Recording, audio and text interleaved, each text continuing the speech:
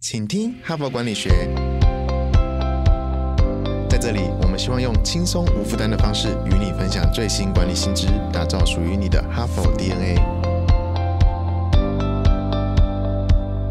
我是节目主持人杨玛丽 Mary。欢迎来到我们今天的 Hard Part 哈。那我们这一整个礼拜的主题呢，是来谈这个社交力，打造你的个人影响力哈。就是我们一般认为呢，一个社交力比较高的人呢，他自然的人脉当然也会比较好，也比较受欢迎。那么事实上，如果能力跟另外一个人相当的话，只是因为他的社交力比较强，就会被认为说，诶，他看起来好像能力比另外一个人高很多哈。所以呢，社交力会被认为说，在职场的发展上呢，其实是蛮重要的哈。而且广义的社交力到最后会让你跟人产生比较正面的连接，比较多的连接，你就比较不会孤单，比较不会 lonely。事实上也是对你的健康啊，对你的身心啊是有帮助的哈。所以社交力这件事情呢，我们绝对不是在谈负面的啊，是八面玲珑啊，或者是搞一些权谋，不是不是，我们是在谈是一个比较正向的社交力，可以帮助你个人比较快乐，人生比较幸福，同时呢，职场上也会比较成功哈。所以我们这一整周的社交力。也就会从《哈佛商业评论》上的文章呢，去找了好几篇呢，来谈如何让你的社交力呢是可以比较正面发展的。哈，那今天呢，我要来分享一篇文章哈，它的文章的篇名叫做《我没有时间六招来抑制呢爱聊天的同事》哈。那么事实上呢，我们在职场上常常我们很多办公室啊的设计会特别设计一个厨房啊，或者是一个小餐厅，或者是一个走道，或者是一个休息区呢，就是希望营造让同事之间可以。非正式的交流的机会哈，因为我们如果是开一个很正式的业务会议啊，或者是一个什么专案会议，大家就是很从第一秒钟到结束呢，都是在很严肃的谈工作或者是这个专案相关的哈。可是有时候人与人之间的交情啊、认知啊，是会当做工作的润滑哈，或者你对这个人有一定的信任哈，或者是除了工作以外，对他个人有多一些的了解呢，事实上也有可能帮助你两个人的合作啊，或者是在推共同推动一个专案，那么所以有的时候呢，在办公的时候呢，有机会聊聊天、说说话啊，分享一下私生活，分享一下个人的兴趣，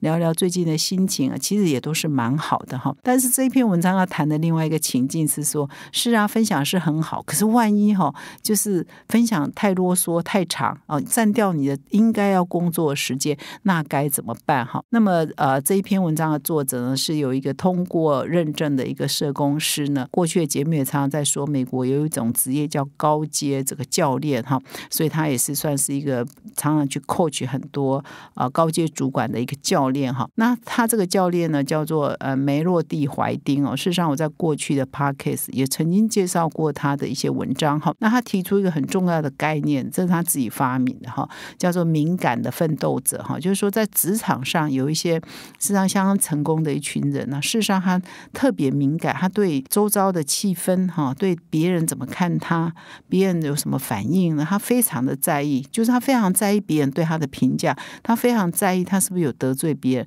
他非常在意自己是不是做的很完美，哈，所以就是活得都很战战兢兢的，就是属于呃很敏感型的哈。那么在这敏感型的人呢，如果又碰到一个我们聊天是很好啊，可是你碰到那种哦老是讲不完啊，本来可能聊个五分钟还很 OK，聊个十分钟也还很 OK，可他可能会一聊。可以聊一两个小时哦，有些同事会是这样。那你如果又是一个敏感的奋斗者，你到底该怎么面对这样？你又不想，因为你很敏感嘛，所以你又很不想得罪他，你又怕说，我如果打断他或不听他说，他会觉得我好像嗯对他没兴趣，我好像对他有成见等等哈。所以呢，到底应该 balance 哦，就是你也要跟别人有效的互动，而这互动可能要谈一些非工作的事情，可是你又不想呃花太多时间在这些。聊天里，然后可是有些人又很爱聊天，你又想要控制你的时间哈，那到底怎么办哈？所以这篇文章主要在谈啊这样的论点。那么我刚刚有说这篇文章的作者他是一个高阶的呃主管的 coach 嘛教练嘛哈，所以他文章一开始呢就举了一个他 coach 的对象就是他的客户了哈。那他这个举的这个客户呢，事实上就是被他界定为是属于敏感型的奋斗者，他对别人怎么看他，他是不是会得罪别人都非常的在意哈。那这一个客户呢叫做夏洛特，那夏洛特他就描述说，有一天呢，他在指导他的时候，他就感觉到这个夏洛特啊，非常的心烦意乱，非常的精疲力尽。然后他呃就问他发有发生什么事吗？哈，然后他就说，夏洛特就说我非常受不了，因为有一个同事呢，我们两个一起开会，开会的过程呢，本来比如说一个小时要开会，可是他每次都会超时。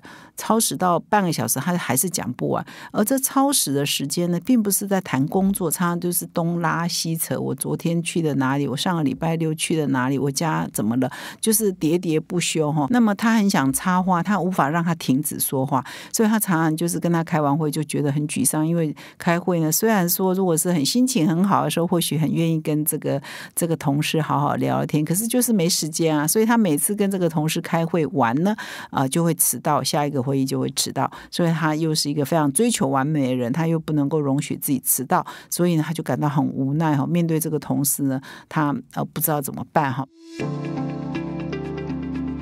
哈佛商业评论仿照闻名全球的哈佛商学院个案教学方式，推出领导者学程，自开课以来家贫如潮，是训练企业精英决策思维的最佳课程。第四期领导者学程现正报名中，独家优惠提供给哈帕听众，请到说明栏点击链接了解更多哦。所以呢，这个作者梅洛蒂呢，就特别为了这一种情境呢，来呃提醒说，其实是有方法可以克服的哈。那我不知道你在办公室是不是也有这样的同事啊？其实只是经过你的身边，你实际上正在做某件事情，他就拉着你一直说一直说哈，或者是只是在啊，比如楼梯间碰面啊，在茶水间碰面，他也是拉着你一直说一直说，不放你走。或者是你在开会的时候，有些同事啊，明明要开会的正事呢讲的很少，可能就会讲他先生怎样，他太太怎样？他小孩怎样？他家的狗怎样？哈，就讲的非常非常的多，是不是有这种状况？你到底要听他说呢，还是要适度的打断？那应该要怎么打断呢？哈，所以这篇文章就提出了一些技巧哈。那么最最重要的一个技巧就是说，你一定要事先设下规范呢，就是说你要让啊跟你一起谈话的人了解说，你没有那么多时间听他说哈，你要让他知道这件事情是要事先说，而不是他讲到一半才告诉他你没时间，或者是一直讲一直讲就告诉他你没时间，可能一开始你就要跟他说，或者是在合适的时候要插断说：“哎，对不起，对不起，我几分钟后一定得走，因为我下面有一个很重要的事情，或者有一个什么样的会要去开哈。”所以呢，你现在就是结束谈话，或者是说把你的重点讲一讲，或者把你一定要分享的讲一讲哈。所以呢，就事先告知啊，设定限制呢，来让对方理解你的时间是有限的。最重要的是事先设下你的时间的限制，让对方告知，然后在过程当中，当时间快到的时候，你一定要。时间到准时，你就站起来，很礼貌性的哈站起来，然后就说啊，真的很不好意思，我一定要离开哈。那么你可能会很担心说，那我插话，人家讲到一半或讲到一个一个段落，你突然间说，哎，我我我只有二十分钟，或我只剩下十分钟，会不会很没有礼貌哈？所以的确是会这样，你会有点担心，怕人家觉得你没礼貌哈，所以就不敢说，那结果就在那一直一直忍耐，一直忍耐的在。继续听半小时哈，所以呢，插话呢是可以也是有一些技巧的哈，所以这篇文章讲到很细哦，有什么技巧？比如说你可以做一个手势啊，比如说你就举个手啊哈，或者把手举起来啊，比起你的你你的手指啊，就是暗示说，哎，你有话要说。那等到轮到你说的时候，你就说啊，我只剩下几分钟，一定要离开，或者是说你就一直看手表，一直看手表。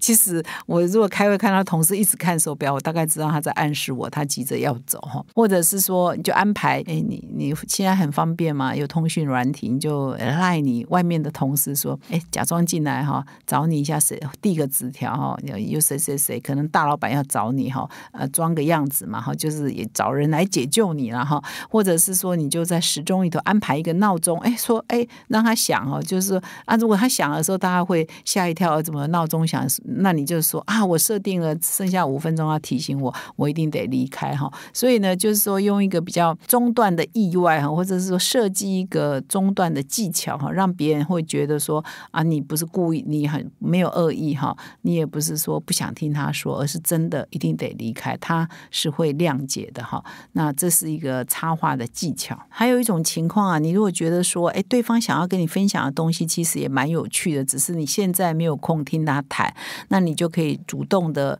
啊，再约一个谈话的时段，比如说啊，你要跟我谈的事情真的很有。去哦。那我们可不可以什么时段一起吃个饭，好好的聊一聊？就是在指定另外一个谈话时间，让他说个够嘛哈，或者是说，哎，下午几点过后我有空哈？如果你你可以的话，我们那个时候再来好好的谈一谈。那当然，我讲了聊天哦，不一定都是谈私事的，有的时候可能也是在谈公事，只是说是比较非正式的交流哈。这个也是蛮好的，只是说有的时候在你很忙的时候，在你的节奏很紧张的时候，怎么样让这种事情的干扰可以降低？然后你或许就另外再拨一个时段，好好来跟来跟这个同事好好的聊一聊这个他想要分享的事情嘛哈。这样呢也不会得罪人，同时你还有机会好好的了解这个同事以及他想要分享的事情，这样也是蛮好的哈。所以呢，这篇文章其实短短的，但是提供了一些呃 tips 啊，一些蛮实用的方法哈。所以现在你可以来想一想，你的办公室内有哪几位同事呢？老是呢呃会很很奇怪，就无意中的就占掉你许多时间哈。你可能要把它列下来说，这几个人呢，老是喜欢东拉西扯哈，老是喜欢喋喋不休哈。那可是呢，你如果有空啊，跟他们吃饭很快乐。可是如果开会啊，或者偶遇呀，或者是突然间来找你啊，然后就讲很久不愿意离开啊哈，那这会耽误到你正常的工作的话，你可能就要想一个话术来面对这些人，不会得罪他们的。我刚刚举的一些文章谈的一些案例呢，是其实应该是还蛮有技巧的哈。那甚至你还另辟时间来跟他们聊一聊哈，这蛮重要的。总之呢，我们要维持社交力呢，也不是很委曲求全了哈，也是要设定我们的底线哈。我们是与人为善哈，也希望广交朋友，但是也不能因为啊，也为了广交朋友，然后来牺牲你工作的时间，或者是牺牲你应该交付的责任哈。所以这一点也是很重要的哈。那么以上呢，是我今天的分享。明天呢，跟后天呢，我们都还有更多的有关于培养社交力的文章的导读呢，请各位听众再回来。最后呢，我要跟各位听众分享哦，一个大好的消息。我不知道你有没有发现，《哈佛商业评论》的网站哈，现在呢全新改版了哈，画面呢美学呢更现代，下载的速度快很多，而且我们的分类搜寻的选单呢也更清晰了哈。所以呢，我们为了让你《哈佛商业评论》成为你征战职场的绝佳利器。器呢，我们也有一个新的服务跟新的功能也上线了，就是全新订阅一年的自动续订功能哈。所以只要你同意自动年订扣款续订，我们就会将保留最优惠的续订价格给各位听众。现在就上 HBR 的网站订阅数位版一年，那么到订阅的结账页面呢，你要输入哦，记得我们哈帕读者有一个专属优惠码哈，你要输入哦 HBR。P O D 哈，就是 H B R Part 的意思哦。哎，我再念一次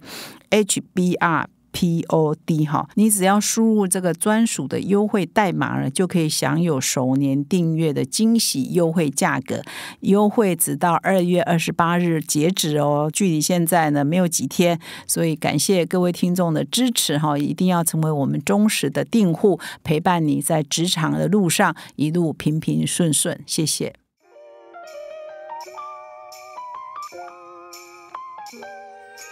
从团队到个人，管理的大小事都是 HBR 的事。现在就上 triple w 打 hbr taiwan com 订阅数位版，首月只要六十元，让你无限畅读所有文章，向国际大师学习。现在就开始。